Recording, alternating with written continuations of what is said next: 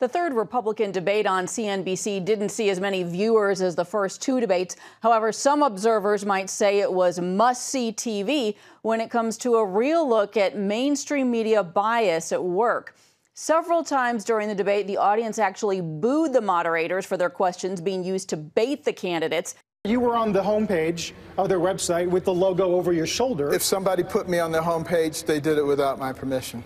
Does that not speak to your vetting process or judgment in any way? No, it speaks to the fact that I don't know that it's going See, they know. you know. The Democrats have the ultimate super PAC. It's called the mainstream media. Who every single day, and I'll tell you why. Last week, Hillary Clinton went before a committee.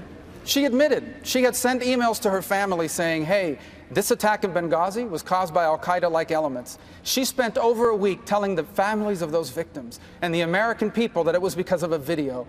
And yet the mainstream media is going around saying it was the greatest week in Hillary Clinton's campaign. It was the week she got exposed as a liar. Brent Bozell, the president of the Media Research Center, joins us now to discuss the fallout from last night's debate. Brent, thanks a lot for joining us. My pleasure. So, Marco Rubio called the mainstream media the Democrat super PAC last night. Did he hit the nail on the head? And are you surprised at how things went last night?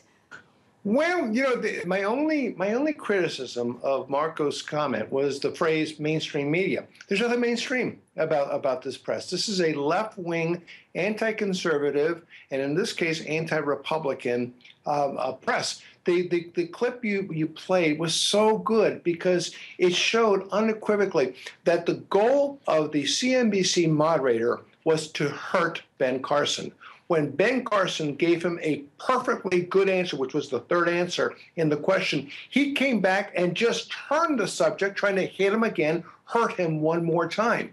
By the time it got to Marco Rubio, actually, by the time it got to Ted Cruz, the the panel was was the, the Republicans were fed up. When Cruz erupted on the on the moderators, you heard the audience. What you heard also was nationally a national explosion of from the public just saying we're fed up with these people. Let them have it. And it was a field day after that. I've been waiting for this to happen for about 20 years. well, why this debate? You know, the CNN debate, you know, you saw some bias, but not to this degree. What happened last night?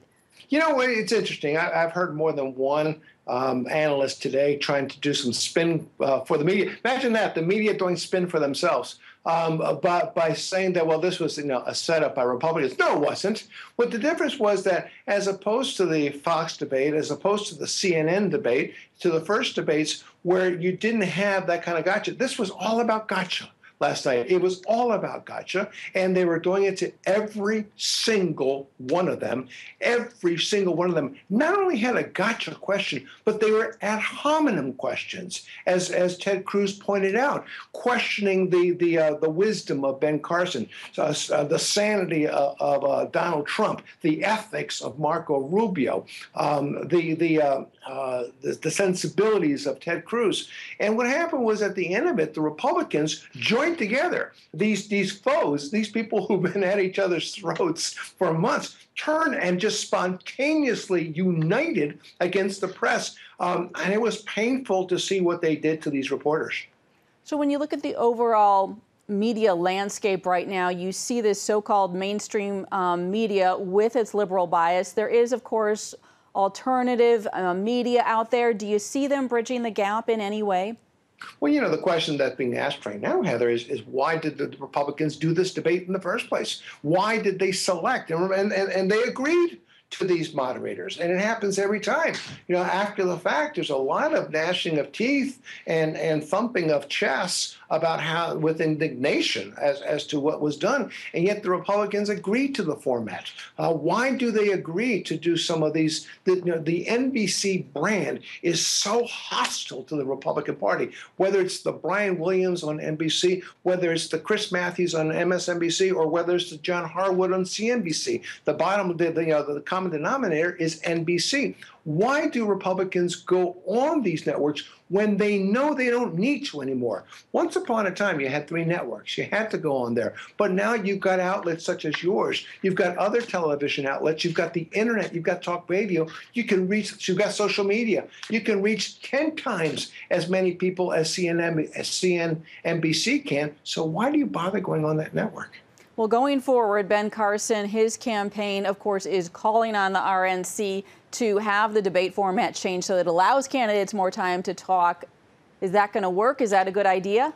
They got to do something. Um, now, in, in fairness to, to moderators, it's very difficult to have a debate when you've got nine people, 10 people, 11 people on the stage. Um, it, it's almost impossible to have a, a, a, a an in depth discussion on things. And that's an issue that's got to be tackled in the future. And for, for, the, for the present, I think the Republicans, if I were Reince Priebus, I would make a very uh, a public declaration to all the the uh, um, the other networks that are, are preparing to do these interviews that we want in writing a commitment that your moderators are going to ask questions and they're going to be asked questions of substance and they're going to shut their mouths the moment they ask the question. This is not a gotcha uh, situation. And oh, by the way, they would never ever think of doing such a thing to Hillary Clinton or Bernie Sanders. Never in their wildest dreams would you ever see what you saw last night aimed at a Democrat. So I think Reince Priebus and the Republicans should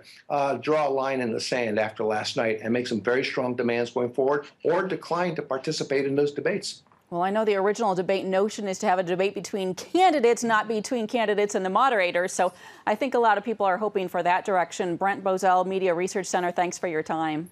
Thanks for having me.